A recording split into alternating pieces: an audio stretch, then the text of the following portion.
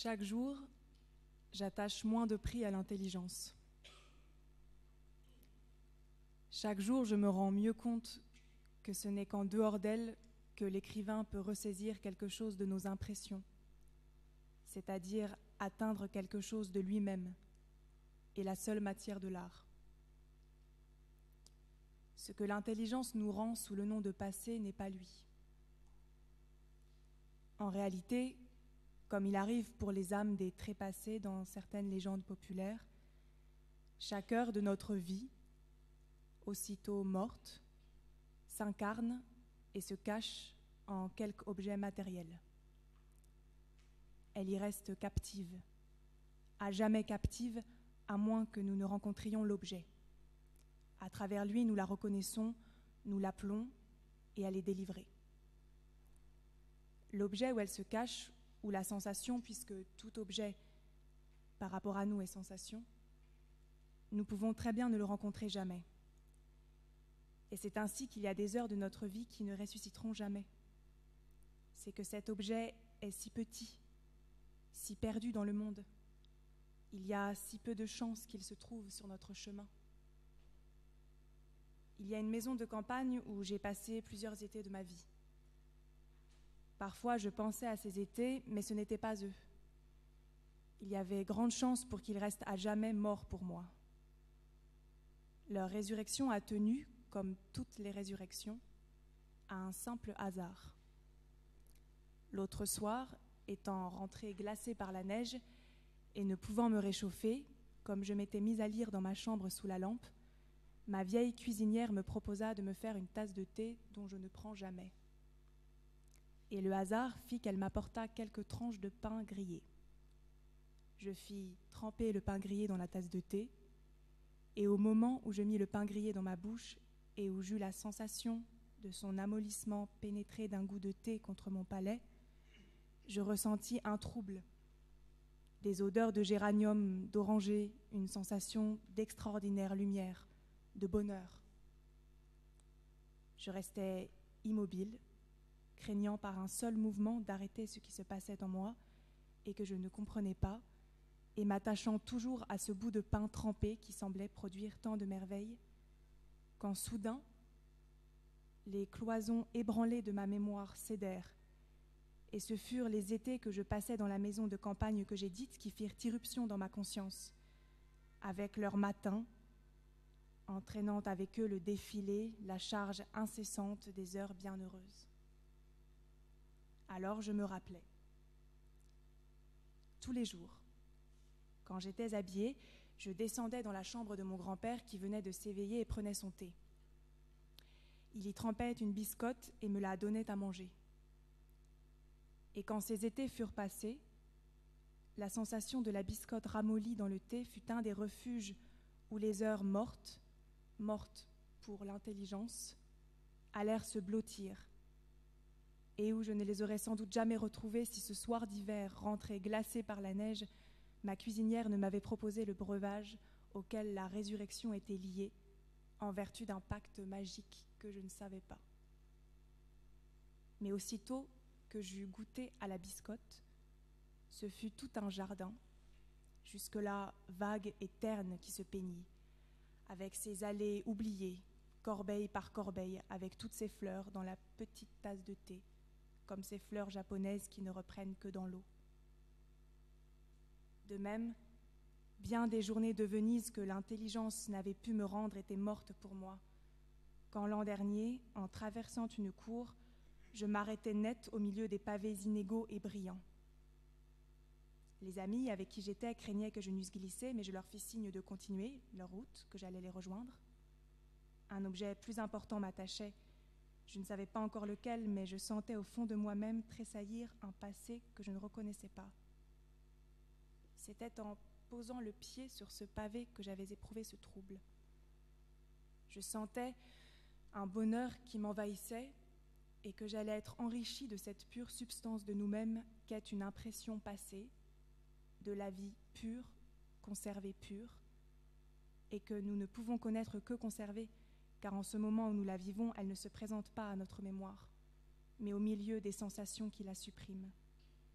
et qui ne demandait qu'à être délivré, qu'à venir accroître mes trésors de poésie et de vie. Mais je ne me sentais pas la puissance de la délivrer. Ah, l'intelligence ne m'eût servi à rien en un pareil moment. Je refis quelques pas en arrière pour revenir à nouveau sur ces pavés inégaux et brillants, pour tâcher de me remettre dans le même état. C'était une même sensation du pied que j'avais éprouvée sur le pavage un peu inégal et lisse du baptistère de Saint-Marc. L'ombre qu'il y avait ce jour-là sur le canal où m'attendait une gondole, tout le bonheur, tout le trésor de ces heures se précipitèrent à la suite de cette sensation reconnue, et ce jour-là lui-même revécu pour moi. Non seulement l'intelligence ne peut rien pour nous pour ces résurrections, mais encore ces heures du passé ne vont se blottir que dans des objets où l'intelligence n'a pas cherché à les incarner. Les objets en qui vous avez cherché à établir consciemment des rapports avec les heures que vous viviez, dans cela, elle ne pourra pas trouver asile. Et bien plus, si une chose peut les ressusciter, eux, quand ils renaîtront avec elle, seront dépouillés de poésie. Je me souviens qu'un jour de voyage, de la fenêtre du wagon, je m'efforçais d'extraire des impressions du paysage qui passait devant moi. J'écrivais tout en voyant passer le petit cimetière de campagne. Je notais des barres lumineuses de soleil sur les arbres, les fleurs du chemin, pareilles à celles du lys dans la vallée. Depuis, souvent, j'essayais, en repensant à ces arbres rayés de lumière, à ce petit cimetière de campagne, d'évoquer cette journée. J'entends cette journée elle-même et non son froid fantôme. Jamais je n'y parvenais et je désespérais d'y réussir quand l'autre jour, en déjeunant, je laissais tomber ma cuillère sur mon assiette. Et il se produisait alors le même son que celui du marteau des aiguilleurs qui frappait ce jour-là les roues du train dans les arrêts.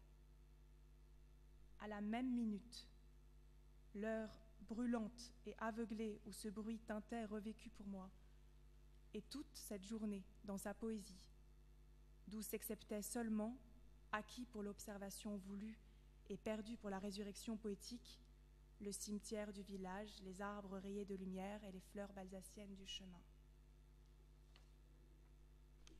Hélas, parfois, l'objet, nous le rencontrons, la sensation perdue nous fait tressaillir, mais le temps est trop lointain, nous ne pouvons pas nommer la sensation, l'appeler, elle ne ressuscite pas.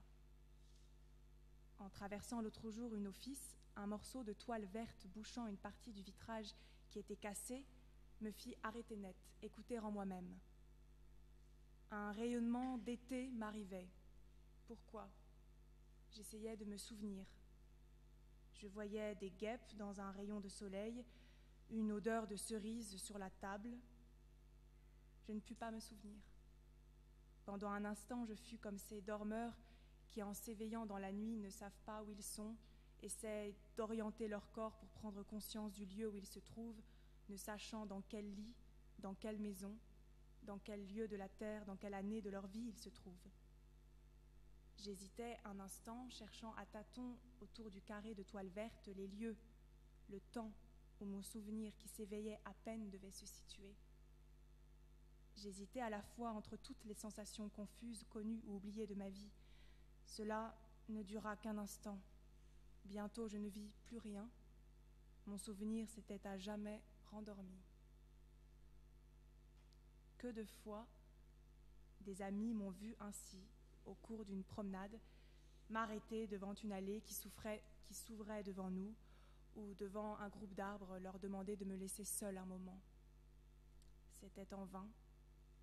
J'avais beau, pour reprendre des forces fraîches pour ma poursuite du passé, fermer les yeux, ne plus penser à rien, puis tout à coup les ouvrir afin de tâcher de revoir ces arbres comme la première fois.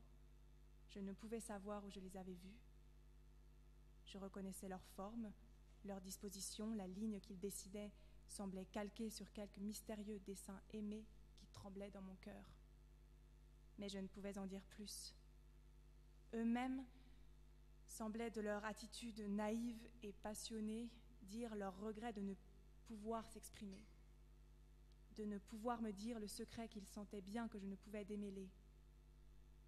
Fantôme d'un passé cher, si cher que mon cœur battait à se rompre, il me tendait des bras impuissants comme ces ombres qu'aînés rencontrent aux enfers.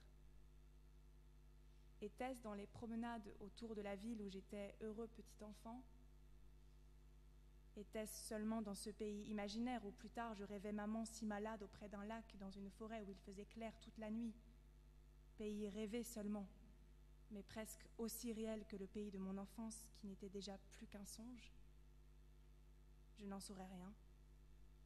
Et j'étais obligée de rejoindre mes amis qui m'attendaient au coin de la route avec l'angoisse de tourner le dos pour jamais à un passé que je ne reverrai plus, de renier des morts qui me tendaient des bras impuissants et tendres et semblaient dire Ressuscite-nous. Et avant de reprendre rang et causerie avec mes camarades, je me retournais encore un moment pour jeter un regard de moins en moins perspicace vers la ligne courbe et fuyante des arbres expressifs et muets qui sinuaient encore à mes yeux à côté de ce passé, essence intime de nous-mêmes, les vérités de l'intelligence semblent bien peu réelles. Aussi, surtout à partir du moment où nos forces décroissent, est-ce vers tout ce qui peut nous aider à le retrouver que nous nous portons? Dussions-nous être peu compris de ces personnes intelligentes qui ne savent pas que l'artiste vit seul que la valeur absolue des choses qu'il voit n'importe pas pour lui, que l'échelle des valeurs ne peut être trouvée qu'en lui-même. Il pourra se faire qu'une détestable représentation musicale dans un théâtre de province, un bal que les gens de goût trouvent ridicule, soit évoque en lui des souvenirs, soit se rapporte en lui à un ordre de rêverie et de préoccupation, bien plus qu'une admirable exécution à l'opéra, qu'une soirée ultra élégante dans le faubourg Saint-Germain. Le nom des stations dans un indicateur de chemin de fer, où il aimerait imaginer qu'il descend de wagon par un soir d'automne quand les arbres sont déjà dépouillés et sentent fort dans l'air vif. Un livre insipide pour les gens de goût, plein de noms qu'il n'a pas entendus entendu depuis l'enfance, peuvent avoir pour lui un tout autre prix que de beaux livres de philosophie et font dire aux gens de goût que pour un homme de talent, il a des goûts très bêtes.